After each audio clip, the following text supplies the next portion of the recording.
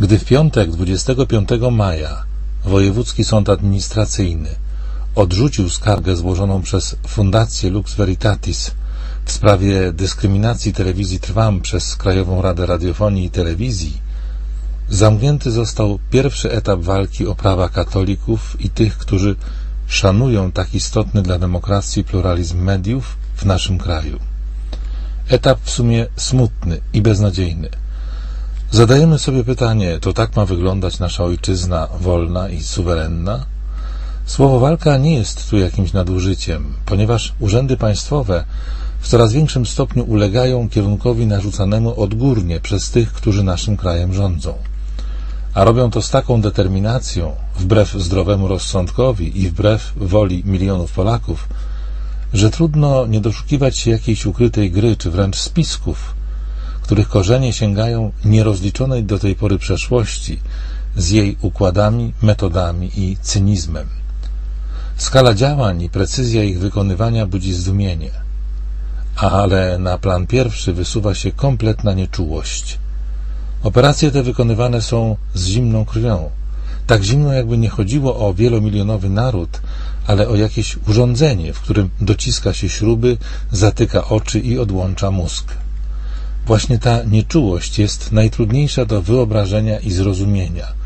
Krzyczcie, chodźcie, protestujcie. My sobie z tego i tak nic nie robimy, a nawet więcej, lubimy się wami bawić, drażnić was, wsadzać kij telewizora między kraty i obserwować, jak reagujecie, jak zbiera się w was oburzenie, jak mdlejecie z bezsilności. Lubimy was podliczać, mierzyć, ważyć. Wtedy też odczuwamy rozkosz bycia u władzy. Niesprawiedliwość decyzji odmownej Krajowej Rady i wyroku sądu aż bije po oczach. Trzeba być nieczułym, albo może oswojonym z niesprawiedliwością, żeby tego nie widzieć, albo żeby to nie robiło żadnego wrażenia. Gdyby tak zliczyć niesprawiedliwe wyroki wydawane w PRL-u i później, to będą ich tysiące, a może setki tysięcy. Dopiero w takim kontekście, właśnie w kontekście jakże potężnego mocowania się różnych sił w naszym państwie, gdzie stawką jest suwerenność nie tylko państwa, ale nade wszystko człowieka, widzimy, jak ważną rolę odgrywa telewizja Trwam. Jak wielkie znaczenie ma łatwość dostępu do mediów, bo ona decyduje o skali oglądalności, a co za tym idzie o skali wpływów. Współcześni kłamcy nie boją się kłamstw pod warunkiem, że jego rozpoznawalność będzie obejmowała mały zakres odbiorców. Co z tego, że ktoś ujawni kłamstwo, jeżeli wiadomość ta ma szansę dotrzeć tylko do małego grona? To małe grono nie wytworzy żadnego nacisku, a poczucie bezsilności wprawi je w jeszcze większą frustrację. Liczy się ten, kto sięga daleko. Wtedy władza zaczyna się bać, a przynajmniej przestaje tak ostentacyjnie kłamać. Władza boi się też o to, by jej wizerunek za granicą nie został popsuty. Natomiast mało troszczy się o wizerunek samego społeczeństwa, czyli narodu. O Polakach można na świecie pisać źle i można ukazywać ich w złym świetle.